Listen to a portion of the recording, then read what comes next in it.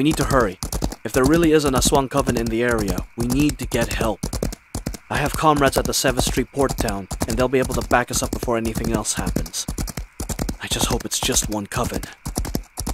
But I don't understand it. How could they be even way out here? They're only supposed to exist in my homeland. Nothing can get past the Tempest walls, not without a heavy airship. Come on, keep up. You don't want to get lost here in the. Ah!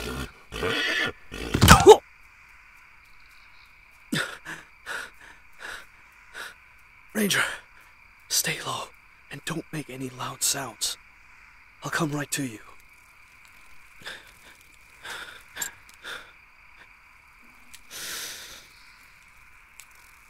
Iliwanag ang landas.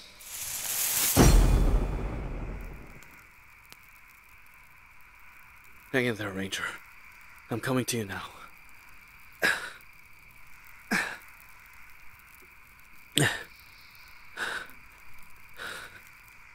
Are you hurt anywhere? Can you move?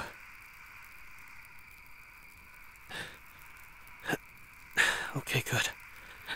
Because I think I broke a rib or two, and I can't heal it up until we get to town.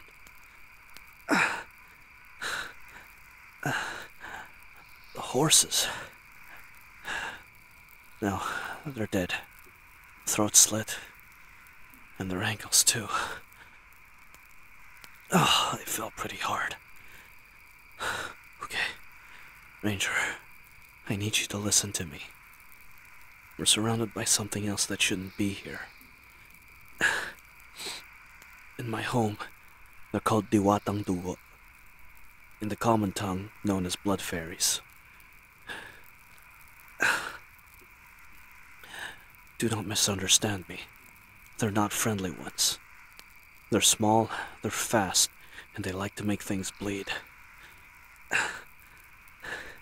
As long as there's a fire coming out of this crystal in my hand, they'll stay away. But we need to get moving and get out of the forest. No doubt those things will follow us for a bit, and waiting for it to die out.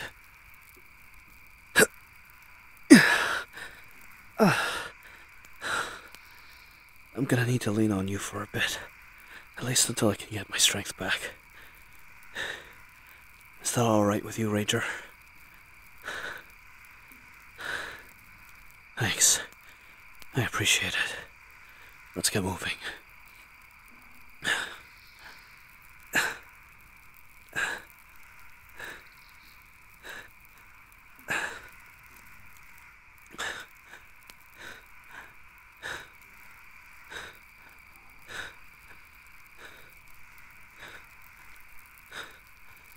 No need to be afraid. This crystal can last a fair bit. And the end of the forest is only maybe a few minutes away.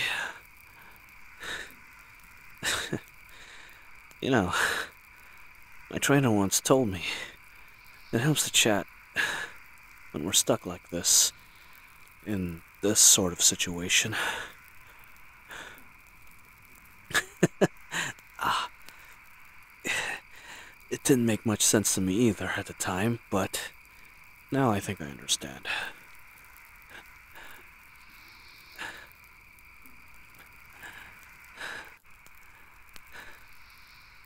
Huh? Am I married? ah, don't make me laugh. Ah, well, that's one way to start a conversation. No, I'm not. Not even a lover.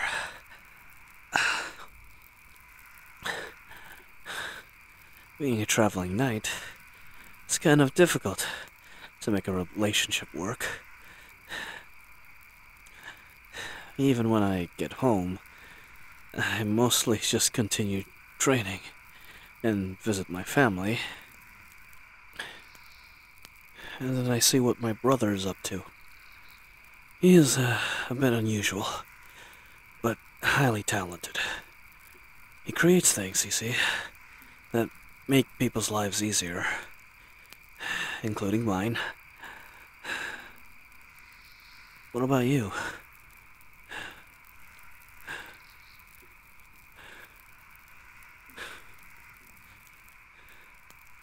I see. Been a farmhand all your life, and now you want something different. You want to do more. Is that why you wanted to train to become a hunter back there?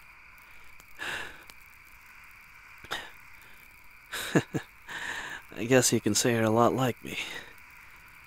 I know you don't believe it seeing the gambeson and the rest of my armor, but underneath it all, I'm just another person. ah, you say that, but look where you are now. A few weeks ago, you could barely even draw your arrows consecutively. But now, you're shooting just like a Robin Hood.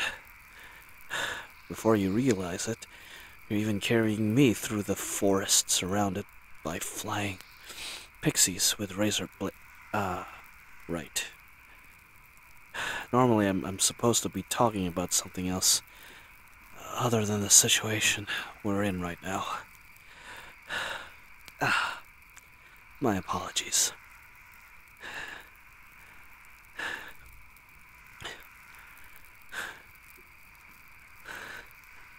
Oh, you mean this fireball in my hand? This must be your first time seeing magic. No. You knew a wizard who came every once in a while to help grow the crops, you say. Where did I learn it? And why isn't it burning me? Okay, okay. Hang on a second. I can only answer one question at a time.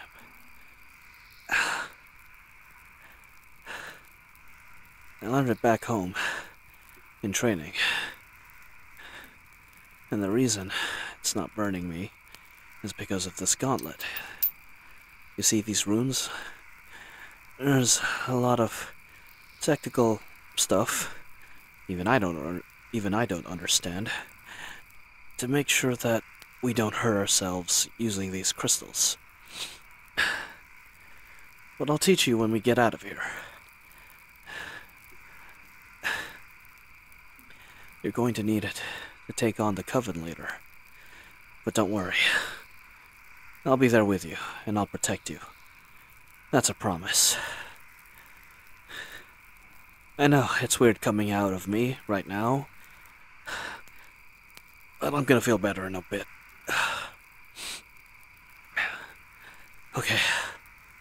I think I'm starting to feel a little better right now. Thanks for lending me your shoulder. Stay close.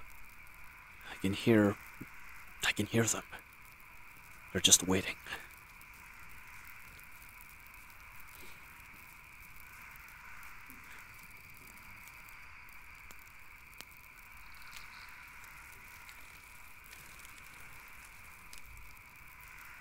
Look! Over there! Can you see it, Ranger? The lights of the port town. We're almost out of the forest. Oh. Right.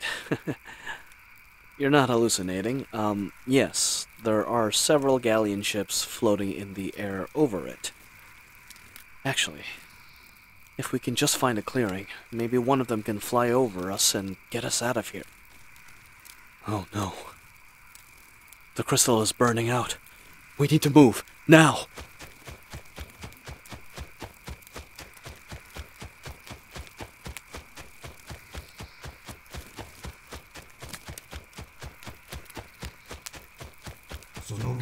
Kalaban!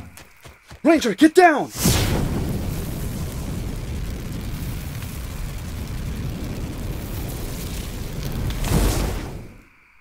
Kapitan!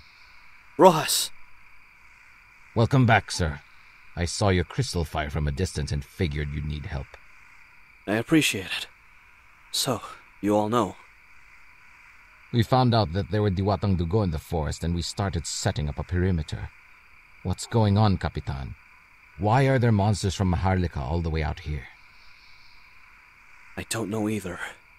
but the people back at the farming villages are going to need a lot more help than we thought. We found an aswang in their woods as well. Aswang too? That can't be. We need to send a message back to Colonel Banyaga and let them know what happened. Martial restrictions be damned. I figured you'd say that, Capitan. I already sent for help this morning. You look like you've been injured. Did you fall off your horse and into a rock? Eh, do me a favor, Roxas. Don't write that in the report. It doesn't sound very heroic. Anyway, the ranger and I will head to the infirmary. We'll be taking some men with us to the village once we recover. Understood. Come on. Let's get to town where it's safe. Come on, Ranger. Let's go.